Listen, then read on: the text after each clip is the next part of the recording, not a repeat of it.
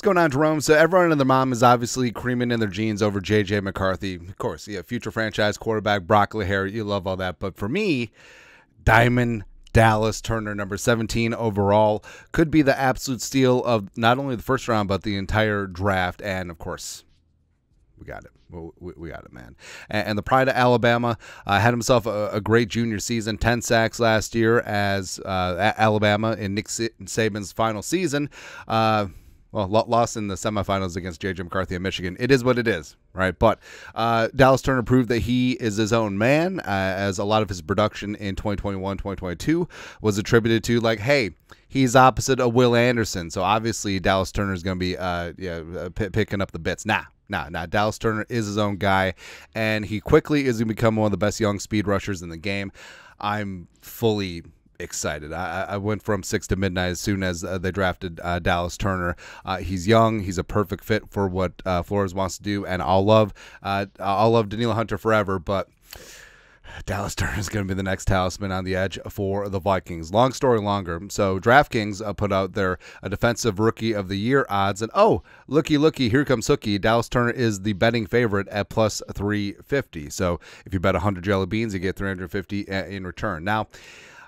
I, I, I kind of don't like that the the defensive rookie of the year award and also frankly a defensive player of the year award has basically boiled down to who gets the most sacks or who gets the most interceptions. Like there isn't you know talk about being you know a, a blanket cover corner where you're so good that defenses do, or offenses don't throw at you or a a great off-ball linebacker who's fantastic in coverage and a tackling machine. And also like hey you could have double digit sacks, but you could be extremely inefficient with your pass rush, and also maybe you're bad against the run, but you may still win it. Right, so it, it is what it is, like we said. Uh, the rest of the favorites, Laiatu Latu. Uh, Indianapolis Colts first round pick.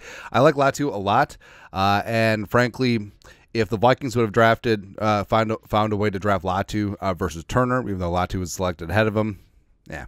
Uh, Quinyon Mitchell of the Eagles, as well as Cooper DeJean, uh, also up there as well.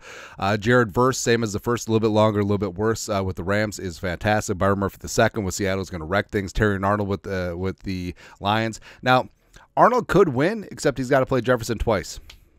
No big deal. Chop Robinson of the Dolphins, Nate Wiggins, uh, Peyton Wilson of the Steelers, uh, etc. Blah blah blah blah blah blah blah blah. Now, what's interesting is if you go down the list, Gabriel Murphy, Vikings UDFA uh, edge rusher from UCLA, plus 6,000. So, and uh, now we're talking. now we're talking here. And then also Khyree Jackson.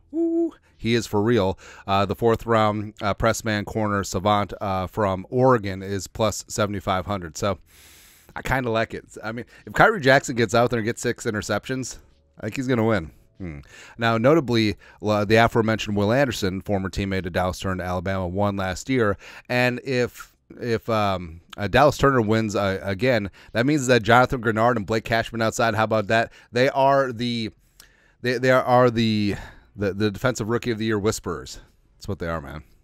It's pretty good. But uh, in terms of uh, stats for being on the edge, Will Anderson won last year with, with seven sacks. Now, that seems a little bit low, uh, but it was a pretty shallow year for edge rushing numbers. Now, Micah Parsons sort of blew things up in 2021 with 13. Uh, Chase Young won with seven. Nick Bosa won with nine. Uh, Joey Bosa won with 10 and a half back in 2016.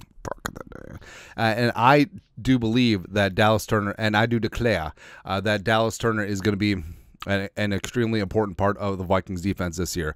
Uh, so he got a ton of first uh, team reps uh, during offseason work because Andrew Van Ginkel is up on blocks that foot injury.